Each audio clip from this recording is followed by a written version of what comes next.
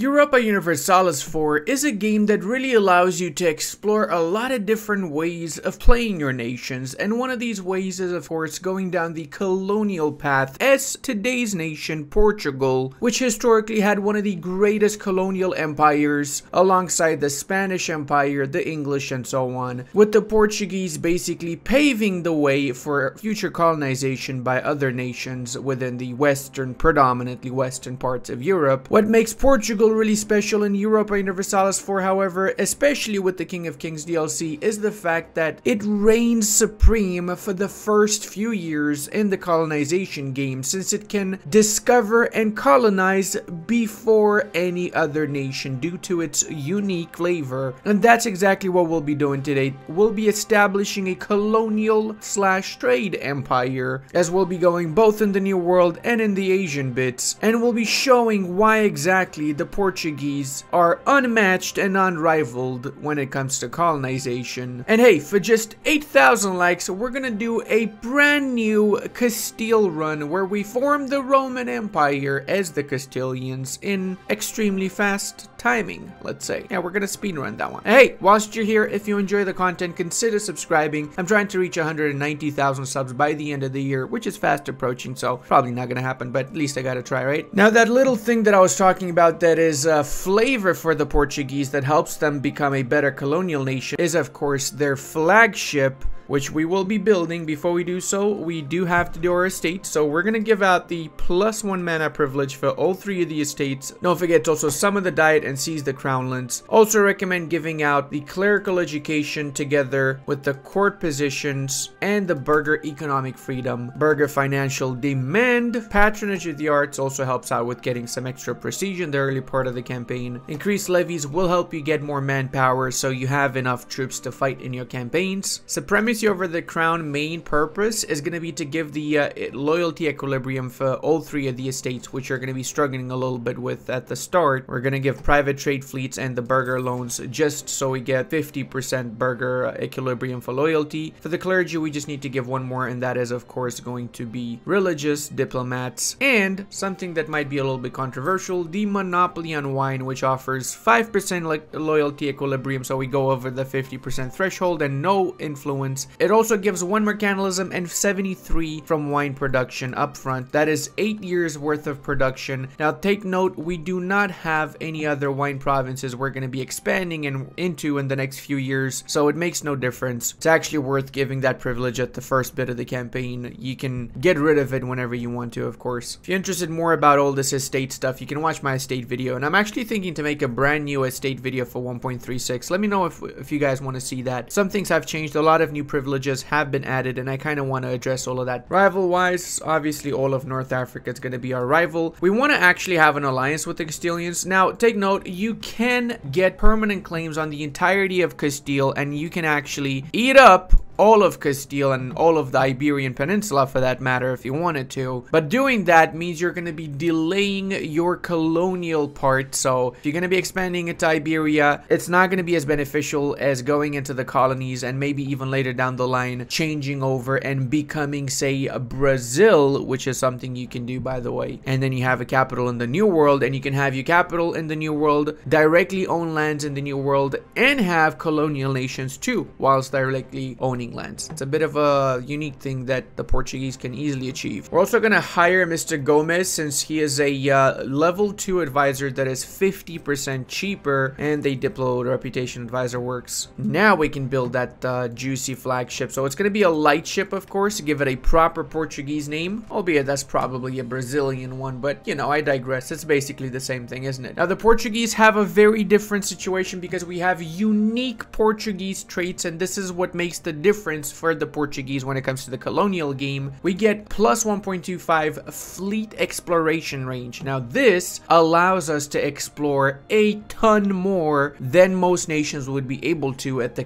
beginning of the freaking campaign. Makes a huge difference. Now fleet naval barrage cost minus 40% is again insane and I'll show you in a few moments why. As is trade power per ship and fleet. Dude, that is double the normal amount of trade power than anybody else would do. So essentially the Portuguese Portuguese have the ability to not only have a colonial empire, but with this change here to the ship traits, you can have a massive trade empire by simply building a ton of uh, light ships and having trade companies to get those extra merchants, which you can do from the African continent or from Asia and so on early on in the campaign. Okay, let's fill up our land force limit. Also actually going to delete my fort in Evora since I don't really need the fortification there. And here's the other thing that makes the Portuguese insane. The Portuguese Marines naval doctrine offers naval barrage cost minus 50% alongside 15% Marines blockade impact on sea and national sailors modifier. What this means is that barraging forts by the coastline is 90% cheaper. It means it only costs 5 mana points. Wait, that's 5, right? I think it's 5. Yeah, it's 5 mana points to barrage fortifications. That is insane, dude. You can do that from 1444. What the hell, man? That is so broken. It also makes the Portuguese a freaking military powerhouse if they wanted to. Even you could go ahead and establish yourselves in the Mediterranean if you wanted. Get over to those juicy Genoese uh, nodes if you want to trade-wise, right? Also take note, we start as an ally of the English. This is the oldest alliance in history, by the way, in case you're wondering. And uh, we're going to make use of this alliance, of course, when fighting in uh, Europe, which is going to happen at some point, right? Or at the very least, we keep it as a, a sort of a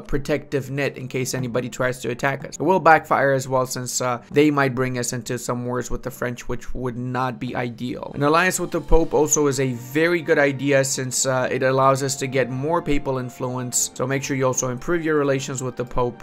Being on the good side of the Pope means we might have a bigger chance of uh, getting colonial possessions assigned to us. So that means we're going to get five extra settlers in those areas that the Pope assigned to us, right, as our colonial rightful lands. We also split off three of our ships here, and we're going to assign Mr. Diogo Gomez as our explorer, and we're going to start exploring with the western parts of the African coastline. After we got the flagship built, we're going to put that flagship in the same fleet with Diego, and then he can uh, start exploring everything around really. The rest of the light ships, we're going to make them assigned uh, to the Sevillian node to protect it. And speaking of, we're going to also give out the uh, protect trade in both of these uh, areas here. Hell, even in that works. So we get more of the uh, power in the Sevillian node. And as such, we get more money as consequence. Also, guys, we have available the Holy Orders as the Portuguese that include the Benedictines, Carthusians, Hieronymites, and a lot of other ones. Yeah, there's a lot of them. And it makes a huge difference, to be fair, having a lot more of these. Remember that it costs only 50 of whatever mana points, and then you get one of that particular group development in each province of the state. So say we spend 50 Diplo to get 5 base production in here, which is huge. That would actually cost 250 uh, to develop, uh, actually more, 300 mana points to develop uh, production 5 times, but we only use 50. So you should use both your uh, states. You should assign uh, holy orders in both of these at the beginning, in my opinion, since it helps out the entirety of the campaign. Some of the good ones are, for example, goods produced modifier plus 10% since it is permanent for that state, right? The tax modifier and production government cost is also pretty huge. Development cost is pretty huge. Honestly, pretty much all of them are amazing. Even the hostile movement speed reduction with the manpower modifier. I don't know. It's going to be a tough choice. I am going to be getting, uh, personally, the local goods produced modifier in both of the states, but I'm not going to do it just yet. I'm going to do it after I get the admin tech 5 so I can unlock my exploration idea. So I'm basically just AFKing until I get admin tech 5 right now. Take note, you can also get permanent claims on North Morocco, Leon, Extremadura, and Lower Andalusia, which is basically the entire borderline with the Castilians from the get-go. You just need to have basically more troops and more um, navy, so it occurs naturally. Same goes here. We have a strong alliance with the English. We get more permanent claims on the entirety of North Castile and uh, Galicia, as well as 10% morale of armies for 20 years. So it tells you that you can destroy Castile if you wanted to. I did choose to ally them though, so I'm to stick with the alliance for now, but we always have that option if we wanted to go down the path, right? 1447, and we stop being a regency because Portugal starts off as a regency, so now we can actually attack nations. Of course, we're to be attacking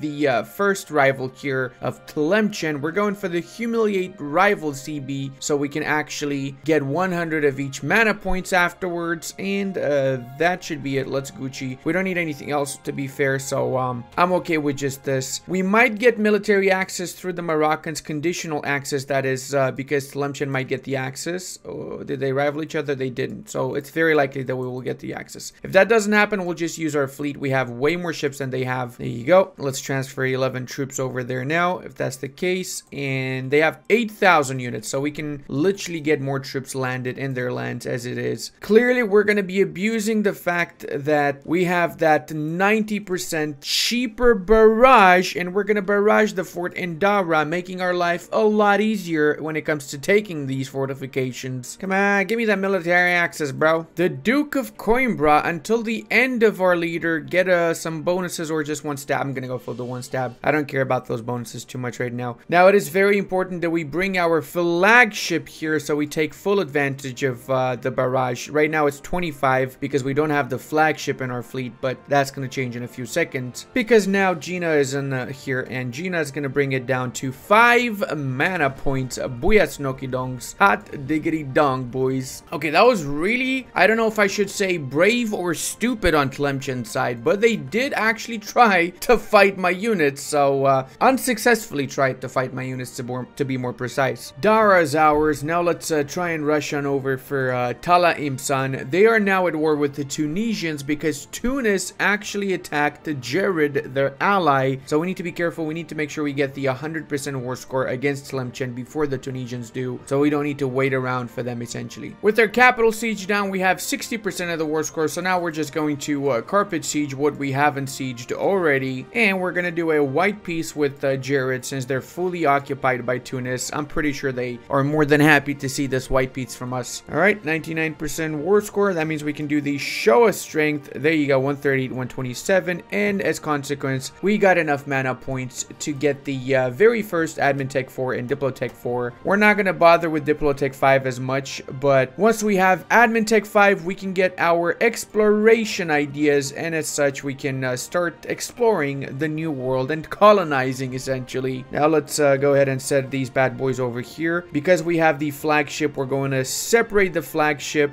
and we're gonna get another two more barks in here. And all three of these guys Diogo you're gonna be in charge of it. Start exploring now the uh, entirety of the Atlantic because we have the range to do so. So by the time that we get our exploration ideas and we're able to colonize we already will have explored the entirety of the Atlantic. I do not need that many Carracks though so I'm gonna be selling most of these Carracks I think I actually got some from the war with Tlemcen I'm not sure. Did I start with five? I don't even remember. Look at that. The the Castilians want to buy one of my Carracks. Hails to the yeah. The Aragonese as well want to buy one. Even the Bretons. Okay, interesting. Very interesting. What about the uh, English? Well, we're gonna have to wait until the English don't have loans so they can buy our Karaks though. So let's go ahead and get our light ships and set them up to protect trade in Sevilla whilst we're waiting for that colonization. And I'm gonna start eating a little bit of food and uh, getting a coffee in the meanwhile. Well, what a surprise. Morocco attacked Tlemcen as expected. Hmm, we seem to have discovered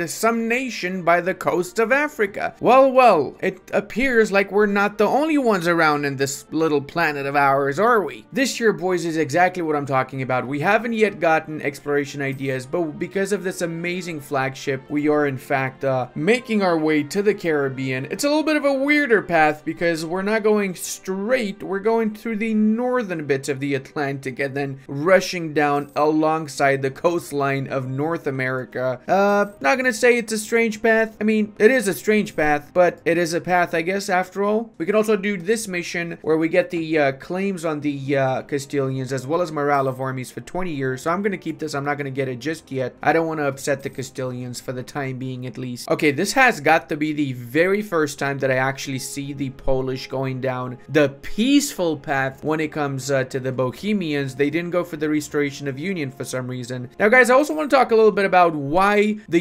Europeans colonized the New World because reality is that the reason the Portuguese ended up in the New World is simply by chance. It all started in the Ottoman Empire when the Ottomans took out the Byzantine Empire and they conquered Constantinople. They essentially cut off the entirety of Europe from the goods of the Silk Road coming in from Asia, which was coming into Constantinople, and then from Constantinople, the Venetians were getting it and uh, transferring it all around the European bits. Now, when that stopped, the Europeans had to search for a new path to Asia because going through the Middle East was not viable anymore. That's essentially what the purpose of uh, going west was. They thought that they could go across the Atlantic and end up in Asia. They didn't expect that there would be a massive continent in between uh, Europe and the Asian bits. This is also a point to make here because a lot of people think that in the Middle Ages people thought that the world is flat. They did not think so. They thought that the world is round. They actually thought that the world is round for a very long time, even before the Middle Ages for that matter. From antiquity, they thought that the world is round. Look at that. Now we can go for Atlantic South America and we can also explore the coastline of everything that we've already explored here, which we're gonna do, of course. So excited to see what lies in these uh, unexplored areas of the world. Well, well, well, as expected, nobody living here. Nobody, uh, uh, uh no, nobody at all living here. Uh, it's just, um, just trees. Trees and coconuts. And I think I'm gonna go for the uh, curtail noble privilege here, because uh, I need the extra tax to boost up my economy a tiny bit to help out with the colonization. To colonize faster, obviously, as consequence, and I don't really care about the manpower too much. I'm mainly just gonna be fighting natives this entire freaking campaign. And that essentially means we're fighting, you know, like one of our soldiers is the equivalent of a thousand of the people people that um, that don't exist actually. I, I forgot. Schnapps. Huzzah! We are able to get our very first idea set. Obviously, that is going to be the exploration ideas. And I forgot to save up my uh, Diplo points, and I got military uh, uh, Diplotech 5, so kind of on me there. it's fine. It's fine. We're gonna rush for this, and uh, we're gonna start exploring any moment now. Send over Miss Gina here to find out what's going on in the uh, southern bits of South America. Would be cool if the New World was not necessarily called America, right? Would be cool if you could choose what the new world is called. Maybe that would be a future feature in uh, EU5. Who's to say, right? We could call it the Ludania.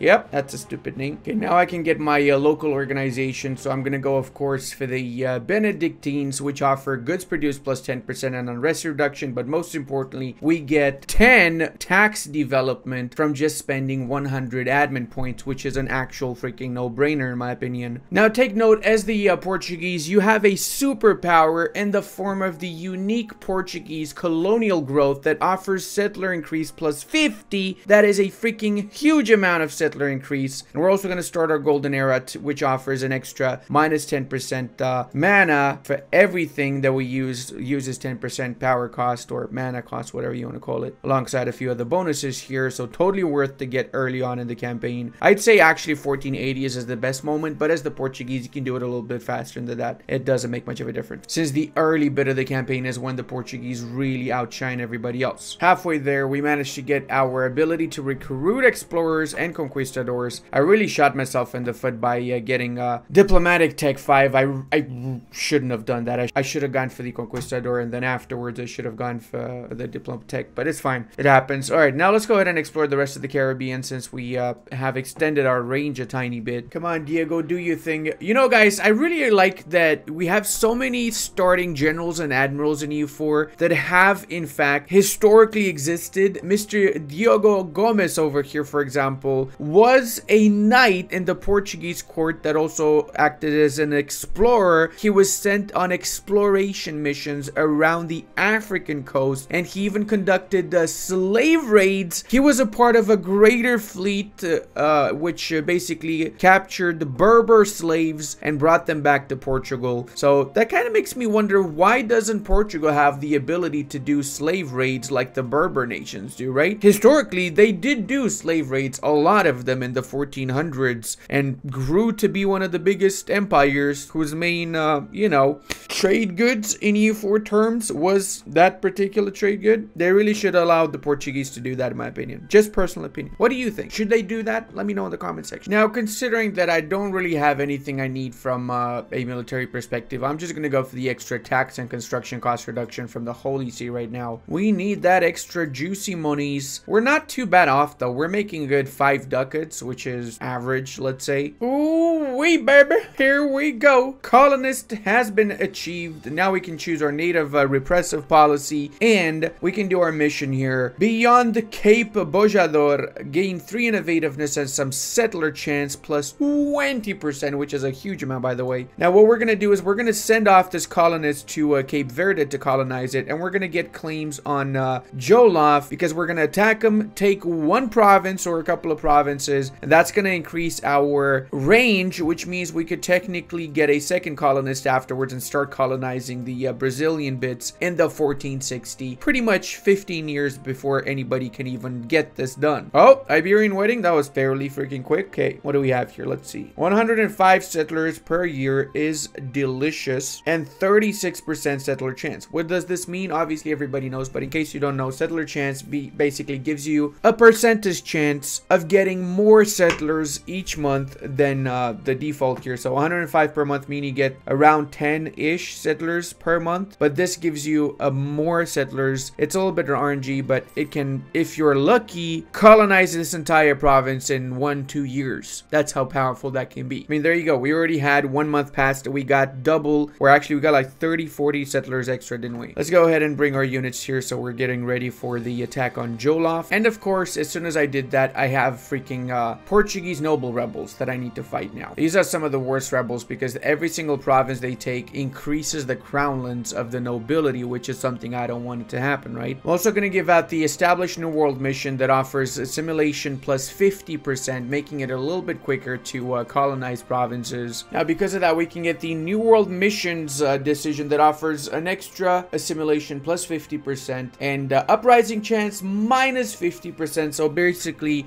uh, natives are going to be a lot less inclined to uprise, but we're going to do that later because right now in uh, Capo Verde, there's no natives at all to speak of. We're also going to merge up our fleets for the time being because we're about to start the war against uh, Jolof. We cannot rely on any of our allies in this war, but that's okay because we don't need them. Jolof has, uh, what? They've got Tech 2, Tech 3, Military Tech 2. That says it all in my opinion. That says absolutely everything you need to know about Jolof's uh, offensive capabilities, let's say. We got Military Tech 6, so we're actually going to be freaking crushing them left and right. And remember, end of the day, we just need one province from them to extend our range because unlike my previous Portugal run, the main goal of this one is to abandon the old world and get into Brazil and then get back the old world provinces as Brazil. So as such, we don't want to have too many provinces around here. We don't want to bother ourselves with these lands for the time being, right? Otherwise, if I was to stick as Brazil, I would take the entire coastline here because this is of course a part of the Ivory Coast the trade node, one of the most valuable trade nodes around. I think Jolof's army is hiding somewhere because I haven't even fought them yet, uh, but that's fine with me. I got the capital, so that's enough to get these two provinces. I could try and push for it so I get some money, but I don't care about it too much. I would have to fight their allies, which is Timbuktu, Djenne, and Kong. Don't want to be bothered with that at all, so let's go with this. Buyashnokos. We have to core this first because Cayor is outside of our coring range, but once this is cored, Cayor is within the coring range, as is also pretty much all of South America after. Now we can also do another mission, colonize West Africa. It gives us an explorer and 100 Diplo points, which means we can do our third idea, and that also means we got colonial range plus 20% from our national ideas and plus 50% from the idea itself from exploration. So we have 70% extra colonial range, meaning we can bring this guy back here and we're going to colonize all the way into Brazil, or we can even reach the island of Boriken, which has a thousand natives. I'm going to do that quickly. So guys, whenever you're doing a colonial game, and this goes for any nation, not just Portugal, always focus on the Caribbeans first, because the Caribbeans is basically where most of the uh, trade from the New World will be filtering into before filtering afterwards into Europe. So if you own the Caribbean, you can stop it from going into Europe. And also by getting this colony in uh, Boriken, we have afterwards access to uh, getting colonies all over North America, Central America, and just essentially expanding like actually freaking crazy. We could get a second colony after in Borado or over here, and then we can just start killing off everybody in Central America where we have how many gold mines? We got like 12 gold mines over in the Aztec areas. So there's a lot of possibilities. Of course, I'm also going to be colonizing South America, especially the Brazil area. If we go over to our colonial and trade regions, this area, since I plan on changing over to Brazil, half for the memes, but also half for the other memes, really. That also increased our range with uh, Cayor, so uh, we can uh, core that up right now. We don't need to wait for um, Tararza to finish. Now, I'm going to be separating another three light ships once more, Gina and two more, and I'm going to get our secondary explorer, Ignacio de whatever his name is. Bring him over here so we can start exploring the world. And there you go, exploration. Let's go with uh, the rest of the Caribbean. I'm gonna get another three ships afterwards with Mr. Diogo, and he's gonna explore other parts that we can explore as well. Keep the rest of the light ships as my uh, trade ships in the Sevillian node for now, and the uh, transports we're gonna be transporting on our army to uh, Boriken so we can wipe out the native. I mean, uh, explore and make sure nobody uh, lives here, of course. The way if you find out if there's any natives, you click the find out if there's natives buttons, and let's see. Yep, don't know there's uh, zero natives. Um, so that's um, that's good. That's good because otherwise you never know. We might have had issues in the future. All all jokes aside, guys. Though, if you keep the natives, then you do get a bonus once you finish the colony to your production. But if you don't keep the natives, then you don't need to keep an army here anymore afterwards. You can do something else with the army because there's no natives to rebel if they don't exist, right? So there's pros and cons to whatever approach you want to do. It's also a good idea whenever you get your uh, diet selected to go for some colonial stuff. So here, for example, we can go for the burghers one, which uh, we just need to colonize a province in Brazil, which we were going to do anyway. And that's going to give us an extra 5% settler chance and 25 flat settlers. We also have the extra Grand New World Charter privilege I was talking about before that offers 5% extra settlers chance and uh, 10 flat settlers. So now we're actually getting how many? We're getting 39% settler chance and 115 settlers red, which is in uh, layman terms freaking insane if you ask me, brother. Also, a good thing to point out, guys, is that uh, you can have on average two or one extra colonies going compared to the amount of colonists that you have. So because we have one colonist, I'm doing two colonies. It does cost a hundred percent more, and then it doubles as you progress with extra colonies compared to your colony size. So if I was to have three colonies, I would basically go bankrupt very soon because I would have like what 12 maintenance for colonial, which is more than I can actually afford. An added benefit of the uh, New World Charter privilege is that you increase your colonial range by 10% and you can get one more explorer. Now we can have three leaders when it comes to our naval stuff, so uh,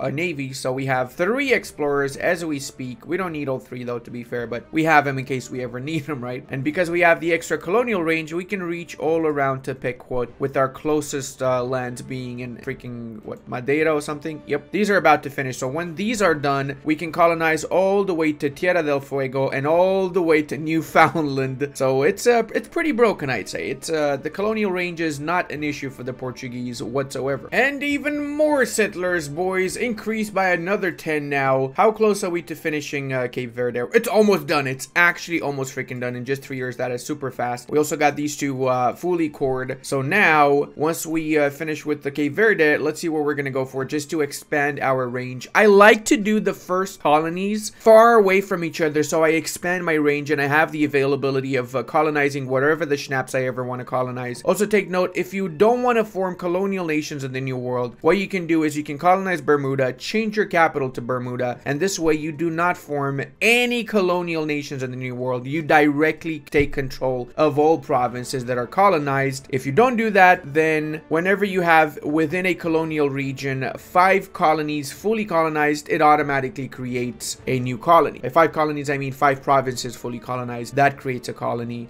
Alternatively, by just changing your capital to the New World anywhere else except for Bermuda also prevents uh, nations from forming. Take note though, any nations that were formed prior to you changing your capital to the New World will stick around as colonial nations. And the way you can change your capital from the old world is either you're the only province in your co continent which is basically abusable as we all know. You can also change it to Bermuda like I said which is kind of an exploit or you can just lose every province except your capital in um, in Europe and then you can change it as well. Or you're gonna do what we do and we lose a certain amount of provinces, keep a few, and then we change over to Brazil. That's also a unique flavor that the Portuguese have. Now you can also get your uh, second bonus here, colony development boost plus one, which goes hand in hand with the settler increase. So once you finish getting your colonies done, you're gonna get more development in those uh, finished colonies as consequence. Oh hell yeah, baby! Cape Verde's done, everyone. Make it a full state, and now let's uh, bring back this colonist from here. Actually, he's almost done. I'm gonna let him finish this, and then I'm gonna use him afterwards. Take note, if you do not have a uh, colonist, you don't get the uh, settler chance. You only get the settler chance if there's a colonist colonizing. So if you have a province that is uh, without the colonist, he only that province only gets the flat spread per year, not the settler chance. And the rich harbor is here. That means um, we also have the monument, uh, Fuerte del Moro, which offers for the overlord 30% extra naval force limit as well as for yourself if you're not the overlord, 30% naval force limit and a few other things. Now that being said, let's uh, use our colonist here. He's back, so check it out boys. With the funk, so brother, look at that, look at that. We can literally colonize all the way till the northern bits. As I said before, Newfoundland, we can start a colony in Newfoundland and after that's done we can colonize everything else in North America or or alternatively we can just start colonizing Brazil. I'm gonna do Brazil first actually, so um, which area has more development? Pernambuco has 10. Let's go with the 10 development here. I'm gonna do two provinces in Brazil for that matter. Or I'm gonna do one in Brazil and one over here so I can uh, start wiping out the uh, natives in Central America. That works as well too. Yeah, that way we have something to do. We don't just uh, chill and uh, do nothing really. Okay, he's arrived. Recall him. And now that he's recalled, let's send him over here. Booyah Shnoki Donks. And let's also send our army to wipe out, I mean, uh, to explore these areas. I might not wipe out natives actually. I might just keep six and 6,000 and then uh, bring the entire army to per uh, Borado so I can attack uh, the Aztec area. Now we're talking an extra 10% settler chance now. Holy snaps, boys. Look at that, 43% when we almost finished colonizing this province as well. All right, we now got our first claim here, so let's go with the first war against these boys. Yokotan. Uh, can we co-belligerate? No, we don't need to co-belligerate, but we will take some stuff. Of course, six military compared to two military means it's gonna be an actual freaking uh, bloodbath right here. Here's a little trick you can do if you want to push into the Asian bits as well, and you could have done this even earlier if you wanted to, of course. Uh, send a colonist to Gabon, get the claim on Congo, bring the colonists back. You don't need to finish the colony. Take the province in Congo, core it up, and that exchange your range. It, it increases your range. Then you can do your colony in Natal, and then just hop around, go into the islands afterwards, and you can reach Asia by, you can reach Indochina, the peninsula, or Indonesia for that matter, by 1475, 1476 if you wanted to, right? Like I said, not my main focus in this run, so I'm not going to give any snaps about that. That means I'm going to set off my second colonist over, actually, you know what? Let's send him over into Brazil. No, no, I'm going to have a little bit of a colony in the northern bits as well. So let's go with um, the province of uh, Wicontis, which has a lot of uh, aggression. So we're going to have to wipe out those natives there afterwards. But we're doing that so we have a friendly Portuguese colony colonizing the Northern American bits for us, right? Speaking of, let's get a claim on these guys so we can attack them after the war with the Huastec. I'm coming for those cocoa beans, Yokotan. Where my cocoa beans at, huh? I need some cocoa. That's what this whole war is really about. It's about getting that juicy cocoa into me. I mean, what? Wait, what did I just say? All right, we got sales of exploration because we fully did the exploration idea. So we can get one Diplo for Alfonso V. There you go. Juicy von Struzzi. I just realized I'm missing a lot of ships. What the hell am I doing with my life? I need to build up light ships, as many as possible. Why the hell did I not build up my light ships is beyond me right now. That's going to give us permanent claims on a lot of areas, especially areas within the uh, lands and the Mutapan lands and so on. So we need those permanent claims, obviously, for that quick expansion, right? Essentially, most of our uh, mission tree does revolve around colonizing, which is a really, really great thing. For our tier 3 government reform, we have the unique Council of the Indies because we are Iberian culture. So we could technically go for this. This is really good from a trade perspective. You also get more money from your treasure fleets, but I personally like to get the extra 5% settler chance and I can change later down the line to the Council of the Indies when I have established colonies. Earlier on, it's better to just get the settler chance to build up those colonies faster. All right, baby, time to get our first three lands from the Mayans. Noise. All right, uh, let's core it up and let's get the other lands from the non-Mayans, the Aztecs. Oh man, the biggest issue now is that I have to wait for a thousand years for my diplomats to come back from the New World. Time for a new war after coring us max. Well, actually, I don't need to wait for coring. I just need to get my claim, really. Okay, I also want to mention that after you've gotten possessions in the African areas, honestly, the best choice is to make these possessions uh, into trade companies. Why is that? Well, because once you have uh, the majority of the trade power in a trade node with your trade companies, you get an extra merchant. That's a big, big deal. Now, here, I also want to recommend that you do these provinces into trade companies after you've converted them to your religion. So I converted the lands I took from uh, Jolof to Catholic. As such, I can add these provinces up to uh, be trade companies. Of course, that means you have to make them stop being a uh, full state if you were to make trade companies. And you can also add every province that's not within a state to a trade company from an entire trade node by clicking this button over here. Again, I'm not doing that because I'm going Brazil. But if I was not going Brazil, I would 100% and do that. I'm just letting you know in case you want to do it. Holy 500 Dukatenstein.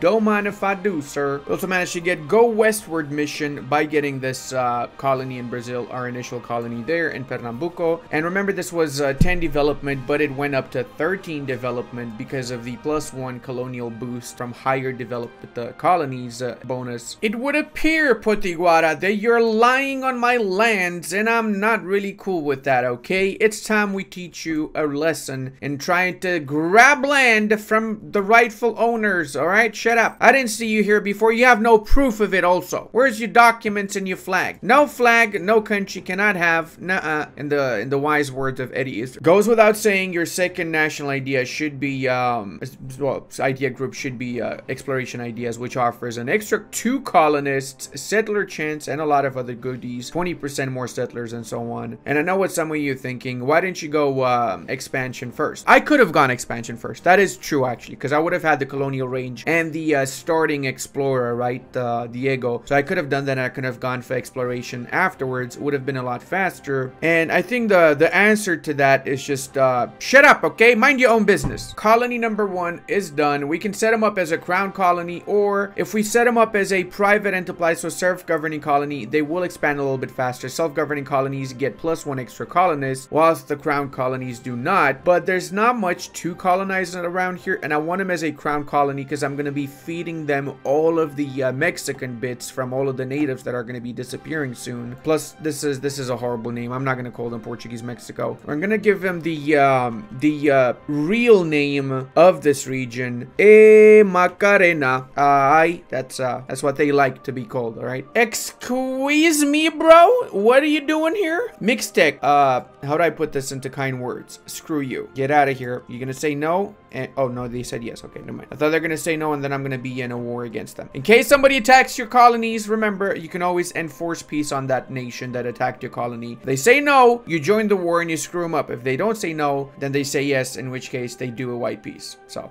You get what I'm saying? I'm also going to answer a very asked question. How come, Ludi, uh, sometimes when I annex vast, uh, when I annex natives, they don't disappear? So, if you just go ahead and you annex like this, what's going to happen is this nation is going to migrate to another adjacent province, right? However, if you want to get rid of them, you go to treaties, annex migrating tribe, and then annex as well. And that means they're not going to exist anymore afterwards. But I want them to exist. Hear me out, right? By doing this, they're also going to be paying us some tribute but most importantly, them going to an adjacent province means that we're gonna have another province we can take when the truce is over in 15 years or whatever years without having to colonize it. So it's a good thing. It's actually a very good thing. Colonial policy is also gonna give us until the end of the game plus 10 settlers in return for one corruption or global tariffs. Obviously go for the plus 10 settlers. The only downside to doing this, by the way, is that uh, you're gonna have to convert the province to your religion and to your culture afterwards because it's going to be uh, the religion of the native, which is whatever that might be, animist or whatever. So now with the three provinces we took from the natives, we actually have all the provinces we need to form Brazil colonial nation. We just need to wait for these three provinces to finish coring up. Uh, that is it. So why am I changing the religion before I'm coring this up? That's uh, that's not smart at all. Look how fast we're snowballing to 165 settlers now. Brother, what is going on here? All right, I also got cannons, so I'm going to be recruiting uh, four cannon pieces and two more or four more uh, infantry. So we have 12 4 4 should be enough to deal with pretty much any native we might encounter in this particular run. And whilst I'm waiting for all of these colonies and all of these truces and everything else to finish, I'm going to hunt for the seven cities with my conquistador. This has a chance of me discovering where the seven cities are and I get a massive amount of bonuses as consequence. Plus, this automatically explores all of the uh, terra incognita in the new world without me having to manually go from province to province to explore stuff like we did another mission 2 here. The competitive advantage that offers even more claims around uh, North Africa. Launch a flagship as well. Gives us 20 uh, army naval tradition and a shipyard in Lisbon. And we're very close to getting this as well. Once we have six shipyards, we can get until the end of the game the galleons and the caravels, unique ships for the uh, Portuguese brother. Even in the new world, we're getting comet sighted. It's an omen, everyone. It's the big peepee time in the sky. Get our stability back up. Thank you very much. Now, when it comes to Brazil, we're going to get these guys as a self-governing colony. Remember that I said before, self-governing colonies have one extra colonist, so we can let them chill by themselves for a while, let them grow into a massive empire before we switch on over to Brazil, and we're going to, of course, give them the proper real name of Brazil, which is uh, Bra Bra Braz Brazils. That's the actual name, in case you're wondering. I know some people think it's Brazil with an IL, but they're just, they're wrong. If you don't want to do it via the um, events when you lose lands in Europe, you can also just switch on over here. You can click release as one of your colonies and click and then just play as release subject and uh, click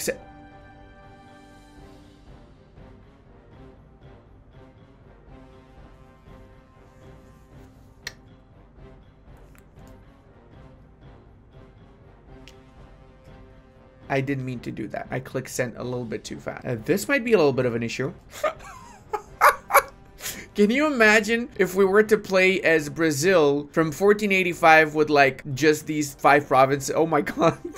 this would be the most cancerous playthrough ever, bro. Like, actually. You know what? I'm actually inclined to do this. I'm not gonna alt F4. I'm not gonna alt F4. I'm actually gonna do this. Tell you what, let's get the light goal, add an extra 500 in that, and then we'll play as Brazzers, and we're gonna have a little bit of a harder challenge, but we're gonna be crushing the entirety of the New World as this amazing nation. How's that sound? And hey, if you enjoyed this run, until the next time, check out my friend's video. And I want to give a massive thank you to all of my patrons, channel members, and Twitch subscribers. I would not be able to do this without all your support.